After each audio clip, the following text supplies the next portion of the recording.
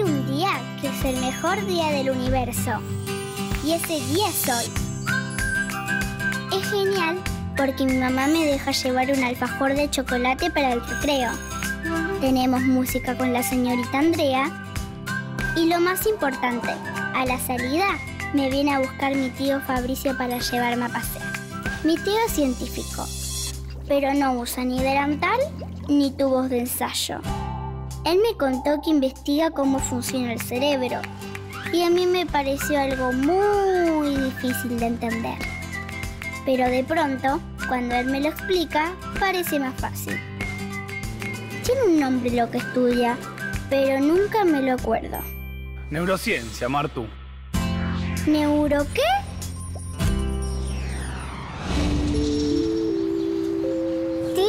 ¿Seguro que este va a ser un buen lugar para leer mi cuento? Sí, es un lugar súper tranquilo, está perfecto. Porque la maestra me dijo que tengo que leerlo con mucha, mucha concentración. Porque mañana me van a tomar un cuestionario con preguntas sobre el cuento. Así que prefiero leerlo miles de veces para acordármelo. Vos quedate tranquila que mañana te vas a acordar de todo. Confía en mí. Esa mañana... Ay, tío, no tengo memoria. ¿Qué pasó? No voy a poder acordarme todos los detalles como dice lo maestro. No, no te preocupes. Sabes que para cada aprendizaje hay memoria. Y vos aprendiste un montón de cosas en la escuela, en la vida. Eso quiere decir que si aprendiste muchas cosas, tenés memoria. Si vos decís. No, no solamente lo digo yo, sino lo dicen las grandes investigaciones neurocientíficas en aprendizajes y en memoria. Bueno, a ver. Esa mañana Candela abrió los ojos, como todos los días. Estiró sus brazos y sus piernas, como todos los días. Y pispió con su ojo izquierdo su despertador, como todos los días. Pero al querer mirar la hora, no vio en él las agujas quietas y clavadas en el número 7, como todos los días.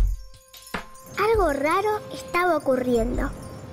Candela se sentó en su cama un poco dormida aún y miró a su alrededor los cuadritos que le había regalado su abuela. Subían y bajaban por la pared. Los libros de su biblioteca dejaban volar sus páginas como si fuesen pájaros de papel.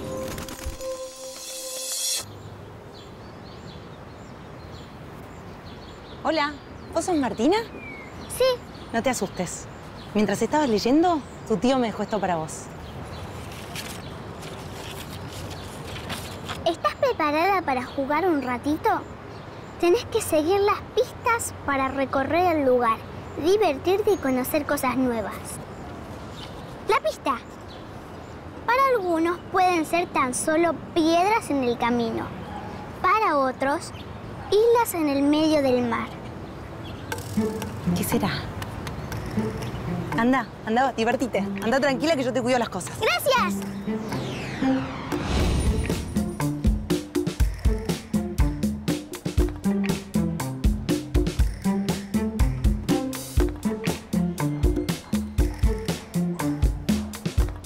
Para algunos pueden ser tan solo piedras en el camino. Para otros, islas en el medio del mar.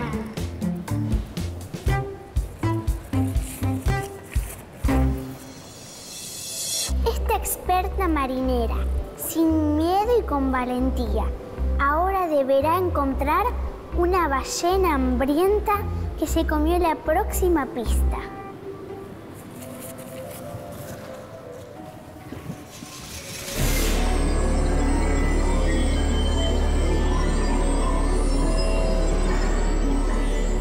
Esta experta marinera, sin miedo y con valentía, deberá encontrar una ballena hambrienta que se comió la próxima pista.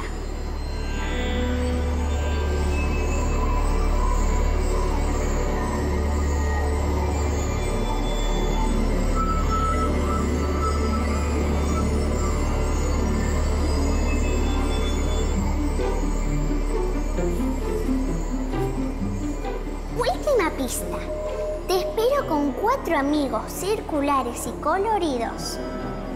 ¿Nos encontrarás?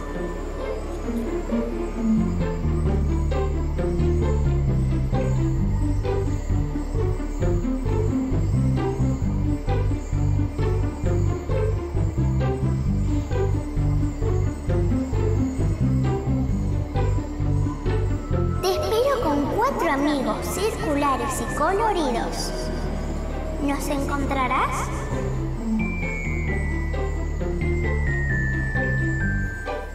¡Tío! ¡Te encontré!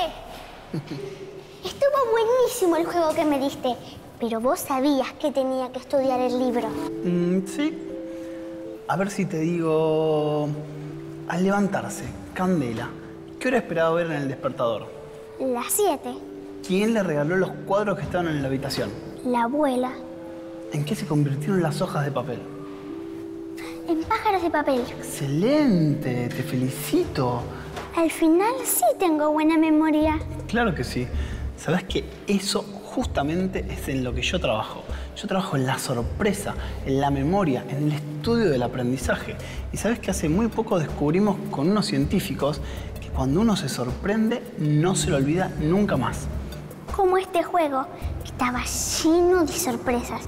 Por eso no me lo voy a olvidar nunca. Y también lo que descubrimos es que cuando nos sorprendemos, nos acordamos lo que aprendimos antes y después de la sorpresa. Es por eso que vas a recordar mucho tiempo el cuento. La sorpresa actúa en nuestro cerebro de la siguiente manera. Cuando te sorprendes es como si se apretara un botón para grabar, que vas a recordar las situaciones previas y posteriores. ¿Te acordás de la sinapsis? De las conexiones que había en nuestro cerebro, nuestros recuerdos se guardan en esas conexiones. Y cuando nos sorprendemos, esas conexiones se hacen mucho más fuertes porque necesitan de unas moléculas llamadas proteínas, que casualmente se sintetizan o se generan cuando nos sorprendemos. Es por eso que recuerdo perfectamente el día que tu mamá me llamó y me dijo que estaba embarazada. ¿Y qué te acordás? Por ejemplo, estaba en el subte, estaba yendo al laboratorio y estaba vestido con una camisa celeste. Entonces vos me hiciste el juego de la búsqueda del tesoro para que el cuento se guarde mucho más tiempo en mi memoria. Así es. ¿Y por cuánto tiempo se va a guardar? Eso es muy difícil de determinar. Lo que sí sabemos es que las sorpresas ayudan a consolidar los recuerdos. ¿Te acuerdas que hablamos que existen tres tipos de memoria? Mm, eso me lo contaste. Si dividimos las memorias en términos de tiempo, hay tres grandes grupos. La memoria de trabajo es la que dura pocos segundos. Es esa que usás como para tomar nota o hacer un dictado o acordarte unos recuerdos muy pequeñitos durante la clase. La memoria de corto plazo es aquella que dura entre minutos y horas. Es la que usás todo el tiempo, como por ejemplo para acordarte la dirección de una compañerita, que una vez que llegás, te la olvidas. En cambio, la que más dura es la memoria de largo plazo. Esa puede durar días, meses, años y hasta toda la vida. Las memorias de corto término pasan a largo término cuando uno se sorprende.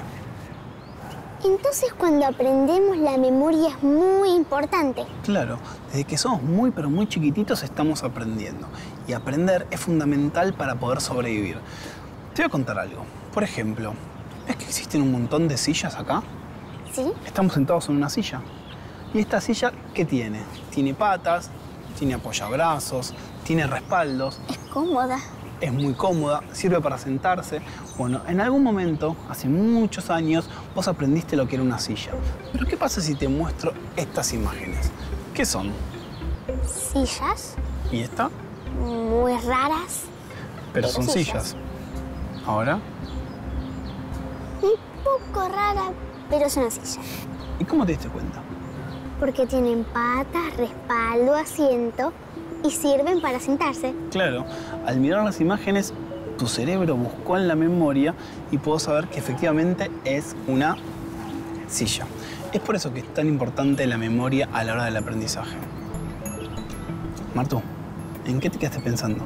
Estaba pensando que le voy a decir a mi mamá y a mi papá que cada vez que tenga que estudiar tengan una sorpresa preparada.